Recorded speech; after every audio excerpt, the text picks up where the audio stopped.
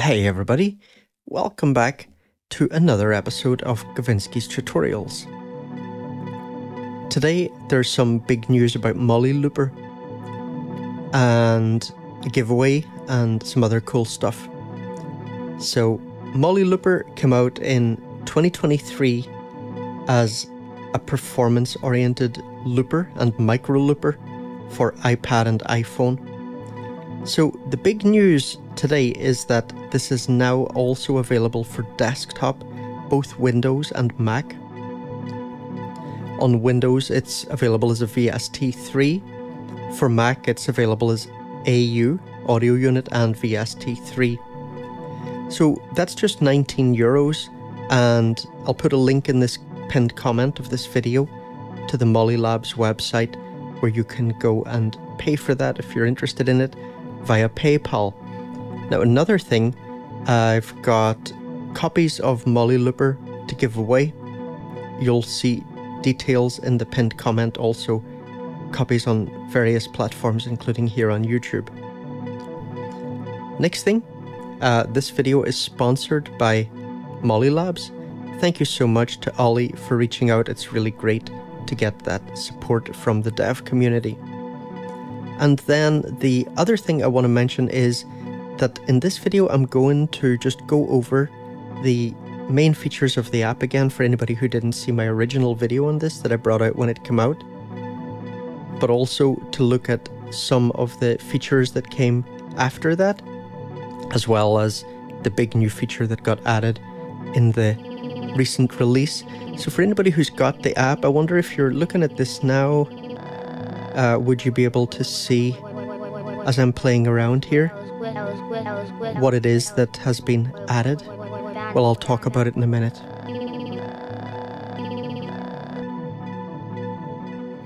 So, um, let's just look first of all at the app, the main features. So I'm going to switch to a slightly different example. So here I've got some axons and I've put on a few glitch cores as well. And I did a video on glitch step by the way by that dev yesterday. So here I've got a MolliLooper connected to that. And this one, look, I've got set fully dry. So, you know, we can um, do these nice little loops and we can control whether it's fully dry or, you know, we can mix in, sorry, fully wet or we can mix in some of the dry signal and that kind of thing. So let's bring it down a little bit. So we've got some of the dry signal in there.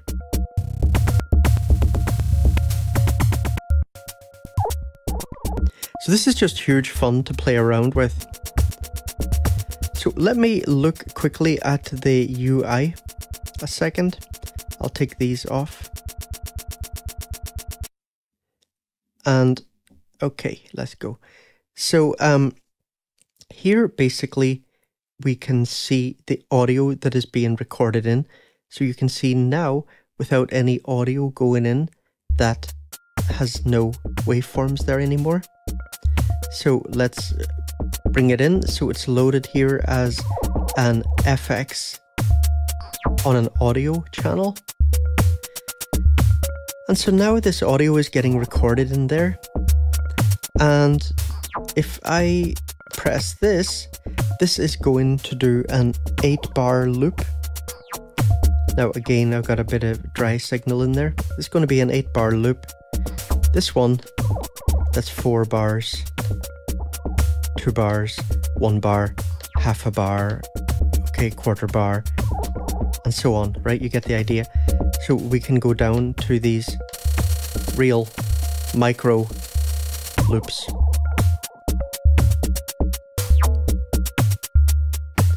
Now, um, we've also got a metronome we can turn on here if we want.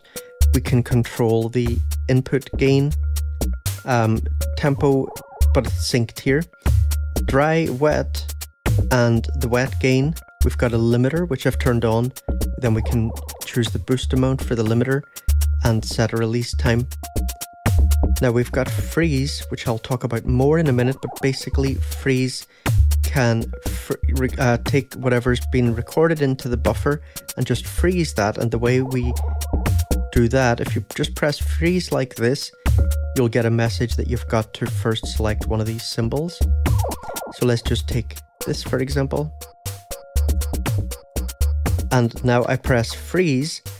And now, even if I unpress this, um, you know, you can see this whole buffer is still exactly the same that was fixed at the point that I pressed freeze after having selected one of these.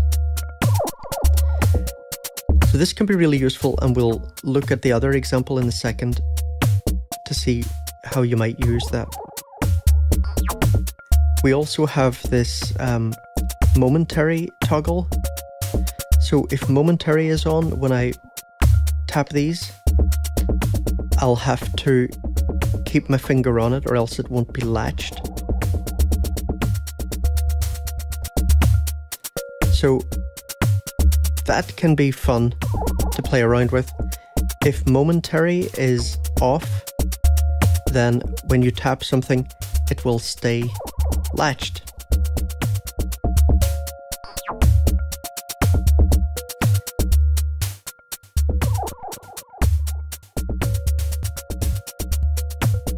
Now here snap to grid is on. So when I drag this around, you might notice that sometimes it moves a little bit after I release my finger and that's because it's basically quantizing. So we can turn that off as well and then we can drag things around freely. That sounds good for certain things and for others not. So let's go and look at this other example. So here I've got uh, Buzz Zone, and that's being played, yeah, by um, Glitch Step. And here I've just got this little audio sample. Uh, uh, this uh, old interview recording from the 1960s, I think it is. And so here you can see that I basically froze that in here. And I've turned down the input gain. And now I've triggered this little loop. And let me go on and just play around with these loops for a second. So when you're recording, you have to make sure you've got input gain, otherwise there'll be nothing to record. But if you have um, recorded something and frozen it, you can then turn your input gain down, and now you can just make little loops of the recorded audio uh, without having any background audio running through when you are not triggering a loop. So they can both be useful things to do, but here I wanted to do it like that. So the new feature with freeze is like this. Um, if you if you look here, if if you used the old version of this app, you might remember that when you selected different loops, if you were in freeze mode, let's say you moved something around, and then you um, tapped off that, and, and you went somewhere else, then when you tap back, it didn't remember where it was. So what's been added now is that it will remember its positions. So just before I started this video, I went through and I set these up, you know, to find things that I thought would sound good.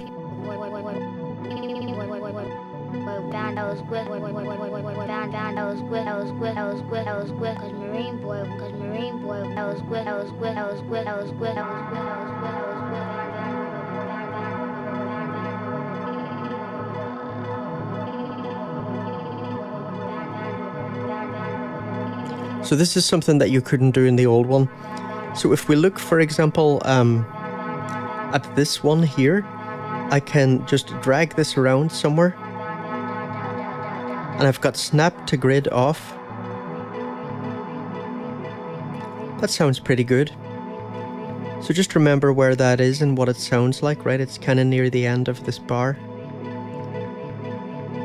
So if I click somewhere else, like here for example, and now I click here again, it's remembered its position. Then this has had a few other small little things done to it as well. Um, before there was some kind of flickering sometimes in the UI, that's gone. Let's just look at how this resizes. Yes, look, right? Very nice.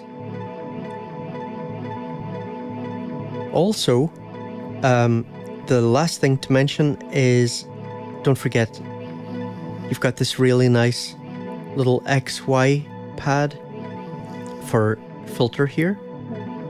So here there's no filtering. And then here we've got high pass filter. And going over to the right, we're increasing the resonance. And down here, low pass filter.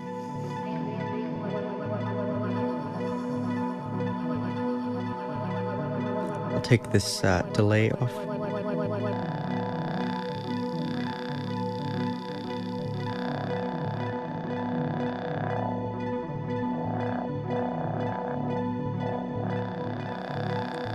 So huge fun to be had. Um, it's really nice to have this new freeze feature and congratulations to the guys for getting this out on desktop and I wish them success with it. And thanks again to Mollilabs for sponsoring this. Brilliant to get that support from the dev community. Thanks, guys, and I'll see you in the next video. Take care.